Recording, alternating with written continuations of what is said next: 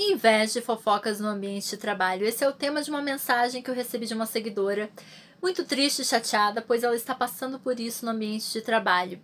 E olha, eu te digo, isso é muito comum também em ambiente de estudo, mas vamos abordar aqui sobre os empregos.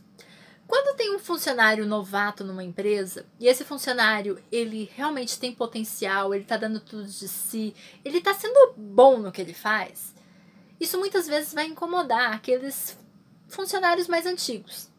Por medo, talvez, de perder a vaga, por inveja que esse novato cresça rapidamente na empresa.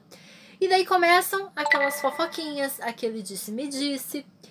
E é isso que ela estava me relatando. Fofocas no ambiente de trabalho e todo mundo querendo dar ordem. Você tem um chefe.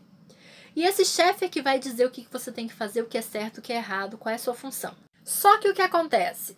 Dependendo do porte da empresa, nem sempre você vai ter acesso ao chefe, o dono da situação, né? E o que, que acontece? Tem às vezes um outro funcionário que vai ser o seu chefe.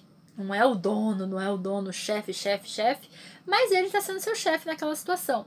Só que tem outros funcionários que chegam para você e dizem: Fulano, você tem que fazer isso, o chefe mandou você fazer aquilo.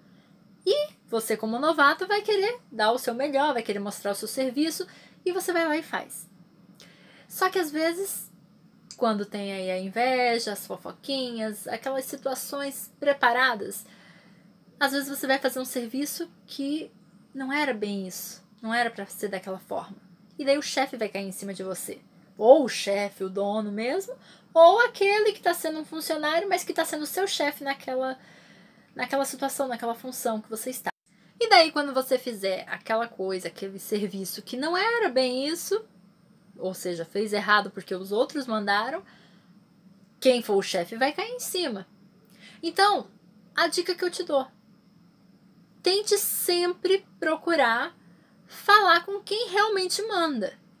É o dono, dono, teve, teve oportunidade, fale com ele. Ou então fale com aquele que está sendo seu chefe na situação.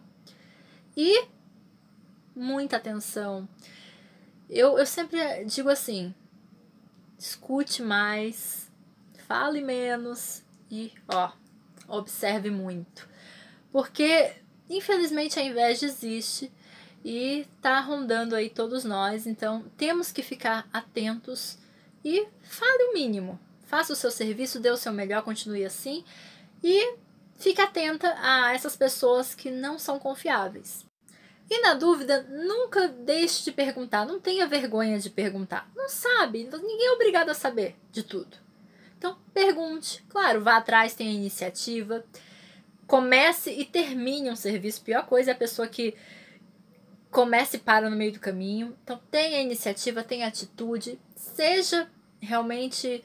Eu, eu sou perfeccionista, né, gente? Então, eu, eu acho assim: a pessoa tem que sempre procurar dar o seu melhor e, e você que se alguém tem que criticar, é você mesmo fazer sua autocrítica e ver, será que tá bom mesmo? Então, teve dúvida, pergunte, vá atrás e não tenha vergonha de, de falar com quem realmente manda. Porque tem gente que tem medo de falar com o chefe. Gente, é seu chefe. Se, se ele quer o serviço bem feito e você tá ali, é com ele que você tem que falar e você tem que dar o seu melhor. Então, essa é a minha dica. Beijo e até a próxima.